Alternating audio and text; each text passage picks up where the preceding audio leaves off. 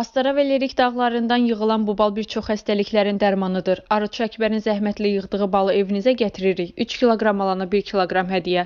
Ekrandakı nömrəyə zəng edərək sifariş verin. Çatdırılma pulsuzdur.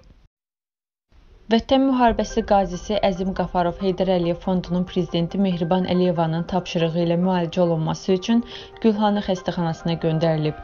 Milli Nöqtaz trendə istinadən xəbər verir ki, Azərbaycanın birinci vitse-prezidenti Mehriban Əliyevanın rəhbərlik etdiyi Heydər Əliyev Fondu Qarabağ müharibəsində iştirak edənlərə dövlət qayğılı siyasətinə dəstək missiyasını davam etdirir.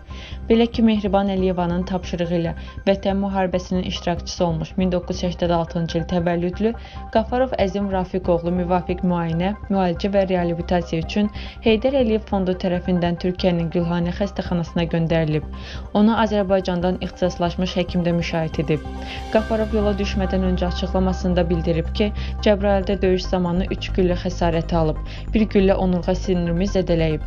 Ayaqlarım hərəkətsizdir. İndi müalicə üçün Türkiyəyə aparırlar. İnşallah həkimlər məni sağaldacaqlar.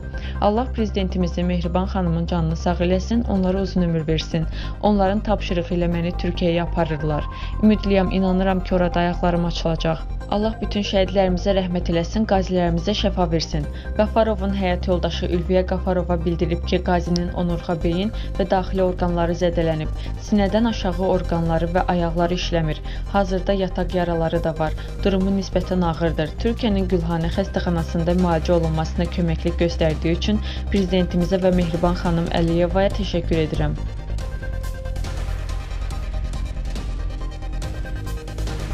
Vətən müharibəsində itkin düşən əskər Ağayev Əmirağa Mahiroğlunun şəhid olduğu müəyyənləşib. Redaktor Nöqtaz xəbər verir ki, bu barədə şəhidimizin dayısı Aydın Aslanov məlumat verib. Füzuli istiqamətində tapılan nəşin DNT analizi nəticəsində 2002-ci il təvəllüdlü Ağayev Əmirağa Mahiroğluna aid olduğu təsdiqlənib. Şəhidimizin nəşi bu gün doğulduğu Şabranın Sura kəndinə gətiriləcək. Qeyd edək ki, Əmirağa Ağayev Qazaxda yerləşən en saylı hərbi hissənin əskəri olub. Vətən müharibəsi başlayan zaman o cəbhənin Füzuli istiqamətində döyüşlərə qoşulub. Şəhidimizin sonuncu dəfə ailəsi ilə oktyabrın 11-də əlaqəyə saxlaya bilmişdi. Əmrağa ailənin yeganə oğlu olub, iki bacısı var. Allah rəhmət eləsin. Rusiya sülh məramları Xocalı aeroportunun açılmasına çalışır. Yeni Sabah.az Ermənistanın hekt.am saytına istinadla xəbər verir ki, aeroport modelləşdirilərək sahəsi genişləndirilib. Bundan savayı ətraf ərazilərdə sülh məramlarının yaşaması və yüklərin saxlanılması üçün müvafiq infrastrukturda yaradılıb. Rusiya tərəfi Xocalı aeroportunun Moskvadan hərbi yükləri qəbul etmək üçün istifadəyə verilməsinə çalışır. Bununla bağlı üç tərəfli danışıqların davam etdirdiyini bildirilir. Fövqəladə Hallar naziri Kəmaləddin Heydərovun həyat yoldaşı Rühəngiz Heydərova Bakı Beynəlxalq Multikulturalizm Mərkəzinin elan etdiyi tenderin qalibi olub. Yeni Sabah.az bu barədə elektron satın almalar portalına istinadən xəbər verir. Mərkəz ofis yerinin icarəsi üçün tender elan edib və açıqlanan tenderin nəticəsinə görə qalib Heydərova Rühəngiz Muxtar qızı olub. Dövlət qurumu olan Bakı Beynəlxalq Multikulturalizm Mərkəzinin ofis yerinin icarəsi üçün ona 97680 manat ödəyəcək. Qeyd edək ki, Rühəngiz Heydərova Seul-Bakı Azərbaycan Koreya Mədəniyyət Mübadiləsi Assosiasiyasının sədridir. O həm də Yeni Azərbaycan Partiyasının Qadınlar Şurasının üzvüdür. Onu da bildirək ki, 2020-ci ilin yay ayında Bakı Beynəlxalq Multikulturalizm Mərkəzinin elan etdiyi ofis yerinin icarəsi üçün də qalib Heydərova Rühəngiz Muxtar qızı olmuşdu. Bu yaxınlarda yüksək rütbəli İran diplomatı ilə görüşdüm. O mənə İran Xarici İşlər naziri Cavad Zərifin baş nazir Nikol Paşinyanla danışıqlarının mətbuat üçün açıq olmayan hissəsini açıqladı.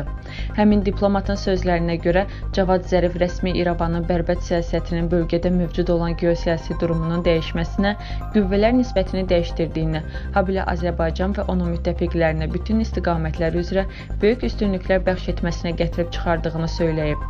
Axar.az xəbər verir ki, bunu Ermənistan Ermənistanın Vatikandakı keçmiş səfiri, keçmiş prezident Serj Sarkisyanın kürəkəni Mikhail Minasyan Telegram kanalında yazıb. Burada ən ziddiyyətli məqam ondan ibarətdir ki, İran artıq klassik mənada Ermənistanla quru sərhədinə malik deyil. İndi İrandan İrəvana gedən və ya gələn yola ya Rusiya ya da Azərbaycan əskərləri nəzarət edir. Ən önəmlisi isə İranlı nazir erməni hökumətini bütün bölgəsəl balansı yerindən oynatmaqla pantürkizm yüksəlişinə rəvac verməkdə suçlayıb. Əslində biz bu gün üç paralel gerçəkliklə yaşayırıq de yure gerçəklik müharibədən sonra qurulan geopolitik konfroqrasiyadan ibarətdir. De facto gerçəkliyi isə Qarabağda Azərbaycanla Ermənistan sərhədində baş verənlərdir. Bir də üçüncü gerçəklik var ki, bu da yalnız Nikola məlumdur. Məhz onun başında şifahi razılaşmalar, qeyri-rəsmi vədlər, üzərinə götürdüyü öhdəliklərlə belə bir gerçəklik əmələ gəlib.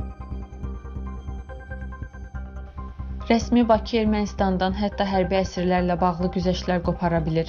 Konkret nöqtə.az xəbər verir ki, bu sözləri erməni politoloq Tevan Pogosyan jurnalistlərlə söhbəti zamanı səsləndirib. Onun sözlərinə görə son əsir mübadiləsi ona görə baş tutdu ki, Azərbaycan üçün bir Azərbaycan əskəri ən azı 5 erməni hərbçisinə və ya başqa bir şeyə bərabərdir.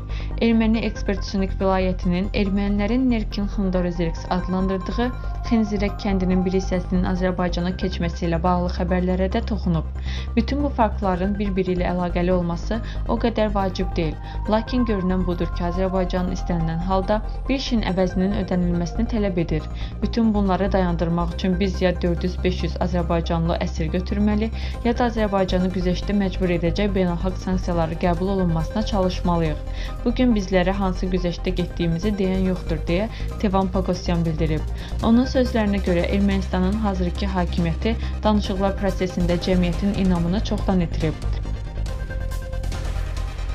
Azərbaycanda həyata keçirilən kadr islahatları, korrupsiya və rüşvətxorluğa qarşı görülən sərt tədbirlər, maliyyə maxinasiyalarından və büdcə vəsaitlərinin talan edilməsində rolu olan məmurların həbsi ölkədə yenidən qurmanın sürətlə aparıldığını deməyə əsas verir. Milyardlarla manat büdcə vəsaitlərinin mənimsənilməsində adı hallanan oliqarxlar arasında sabiq Nəqliyyat naziri Ziya Məmmədov və hazırda Fövqəladə Hallar naziri olan Kəmaləddin Heydərov xüsusi yer tutur.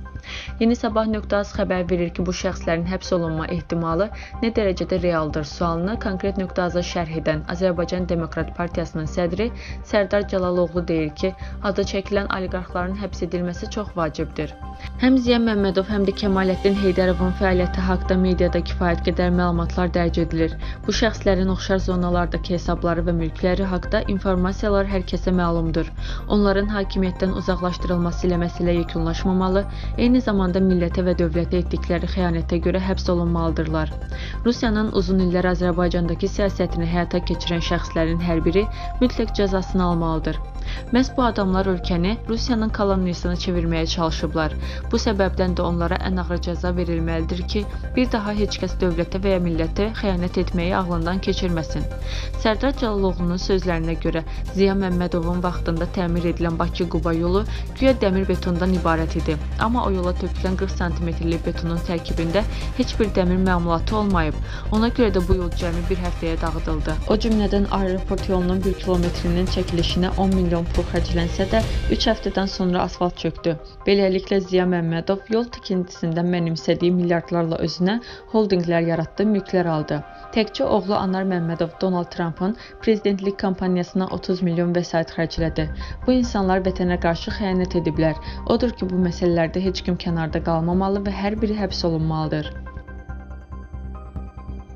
Azərbaycan Respublikasında əhalinin mənzili olan tələbatının ödənilməsi və vətəndaşların güzəştli şərtlərlə mənzil əldə etməsi xərcləri üçün 143,9 milyon manat vəsait yönəldilib.